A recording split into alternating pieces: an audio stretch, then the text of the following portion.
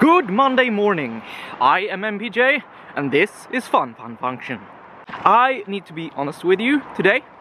I started out doing this episode as an episode about uh, the bind function in JavaScript because you know I figured that I would look at a keyword tool uh, see what people search for on YouTube and uh, see what what kind of episode would be popular and bind that's up there right in the heavens so bind would most definitely bring in a lot of new viewers so I sat down to do it you know that feeling that you got in uh, in school when you had to do some homework you know you felt like oh I need to do this I have to do this but I really don't want to. I would much rather play Xbox.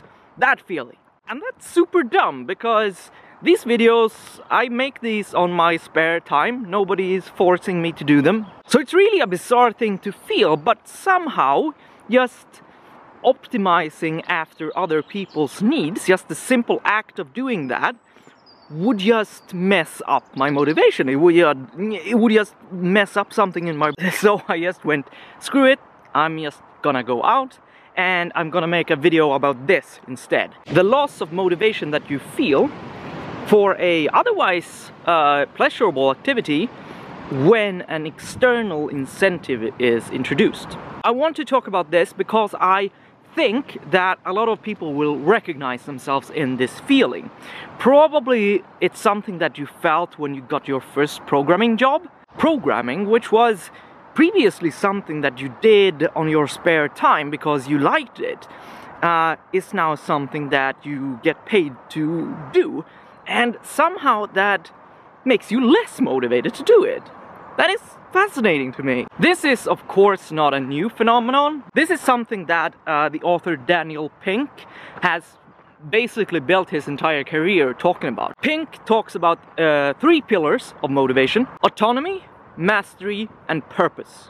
Purpose is what it sounds like. Uh, it's that you need to feel like there is a bigger, uh, bigger plan behind what you're doing and that there is, that it is a worthwhile thing to do in the grand scheme of things. Mastery means that the task that you are doing needs to be uh, in skill level, it needs to be at the edge of your abilities, but not outside of them. Uh, and also not too far within your abilities because if it's too far outside you will be stressed out and you will feel like oh you, you won't get a sense of uh, self-efficacy, which I will talk about later, uh, that you, you don't get that feeling of, I can do this. And the opposite of that is if the activity feels too much within your abilities, uh, you will feel bored because it's not challenging you. But the first one, autonomy, is the one that I want to spend the most time on today because I think it's the it's definitely the trickiest one to pull off. You probably felt this when um, when there is a task that you feel like this should be done. I want to do this. Nobody is telling you to do it. Nobody is rewarding you to do it, but you want to do it. And you do it. And it feels so good. And you are so energetic. And it just flows for you. And that is the power of autonomy. Oh, I need to climb this. There's a there's a fence, but there's a hole in the fence over there. Ugh! Mother.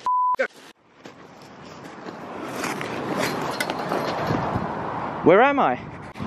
Oh, it's a quarry! I've never been here. Quarries are so cool. One of the components of flow is that you feel a sense of control and a sense of agency over the task that you're performing. Which is the same thing that uh, Pink talks about when he talks about autonomy. And to me all that makes sense, but it it's also very tricky for me to transport that into any kind of professional situation because to me the very definition of a job is that you're doing something that other people need and they are willing to pay you for that. How, how can this be reconciled with autonomy? I think about this subject a lot and it frustrates me to no end. See this? This is cool. There's been a lot of research on this uh, in psychology over the years, uh, and uh, there's actually a theory around this called motivation crowding theory. And it uh, deals with situations like uh, the one I'm experiencing today or the situation that you would experience if you say say that you were at uh, your partner's uh, uh, parents house and you've just had a nice dinner that, that they offered you and you say that wow this was such a nice dinner thank you so much I would like to offer you a hundred dollars for this dinner even though you are now offering more than just the thanks you have just made yourself a really weird uh, person and you have even somehow cheapened the dinner, right? And this is what motivation crowding theory deals with. There is actually a very specific term for this whole situation and it's called the over-justification effect. It's when you add a reward to a previously unrewarded activity and that causes the motivation to shift from inner motivation to outer motivation, which then undermines the inner motivation. But this doesn't tell the whole story because this doesn't always happen. I've done tons of work where I've been rewarded handsomely for them, but I've I've still felt in control and autonomous and have been highly motivated while doing them. So why does this happen in some cases and in some cases not? There are, of course, some other clever chaps that have uh, made another theory about this. And it's called the cognitive evaluation theory.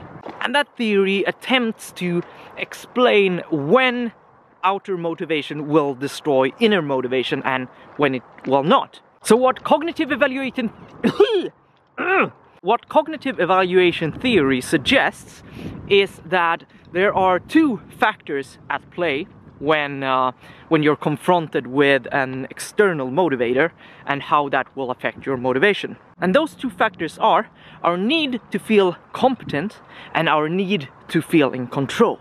Let's first talk about our need to feel competent. I mentioned self-efficacy earlier and self-efficacy is uh, the, the feeling that I am capable of this. You judge yourself on your capabilities and you determine that this, this given task that's within your abilities. Self-efficacy is a more specific term than self-confidence, which is a more general concept. For instance, I, I don't wear this hat a lot because uh, I don't feel self-confident enough to actually pull it off. I feel like I feel like a steampunk douchebag. However, oh my god, it's the wind is the wind is picking up. My self-efficacy, on the other hand, that's more specific. My self-efficacy around uh, solving a complicated programming problem, that might be very high. I, I feel like I could do that. I don't know if anybody is here, you know? I can't see any people and it's Sunday. I'm recording these on Sundays, by the way. Uh, yet, like, the things, these things, they make all kinds of noise all the time. That thing over there, that's just... Uh, it's a scary place. I wouldn't want to walk here at night. But this, this is so cool. This is so big. And your self-efficacy might very well be helped if somebody offers you a lot of money to do something. Because that you you could interpret that as somebody wow this person really believes i can do this. Or if you're about to give a talk and a lot of people uh, sign up for your talk and it seems like wow, they, they signed up for my talk. They believe in my abilities and that might also cause me to believe in my own abilities. My self-efficacy increases and my motivation increases. But my need to feel competent is not the only thing that is at play here, remember? It's also my need to feel in control. Humans don't like... Oh my god. Just look at this building! It is so cool and so scary and just have a look at this window here. This is where they keep the serial killer. Humans don't like to feel like we're being controlled. Maybe it's some evolutionary thing, I don't know. But we don't. We don't like feeling like we're being controlled, like we're being coerced into something. It's starting to rain a little. I'm gonna find a roof to stand under so when you're in a situation where somebody offers you a lot of money to do something, or if a lot of people sign up for your talk, or if a lot of people star your open source project on GitHub, that might make you feel more competent and admired and that might raise your self-efficacy. But it might also trigger that part of your brain that don't like to be controlled. If it does, it will feel like all of this money or this attention is being somehow used to control you. It's pressuring you to do something. And then you will not feel motivated. Jesus, it's really starting to pour down. The annoying part is that I don't know in practice how to not trigger the fear of being controlled whenever I get confronted with an external incentive. Whenever money or deadlines or uh, uh, view counts or uh, likes get involved, I tend to, like my motivation just tends to go out the window and I still lack good tooling to deal with this. Do you recognize yourself in this at all? Was this what was this even useful? Maybe this is just me and some people writing research papers. But if you do recognize yourself, have you found some way of dealing with this? If so, please write a comment down below because I really would like to know. That is it for this episode of Fun Fun Function. I release these every week on Monday morning, 0800 GMT. If you like this episode, you should watch that one. Uh, or if you don't want to wait that long, you can check out an episode, another episode here. I am going to push through the rain now I am MPJ. This is Fun Fun Function. Until next Monday morning, stay curious. What? They have a laboratory? Really?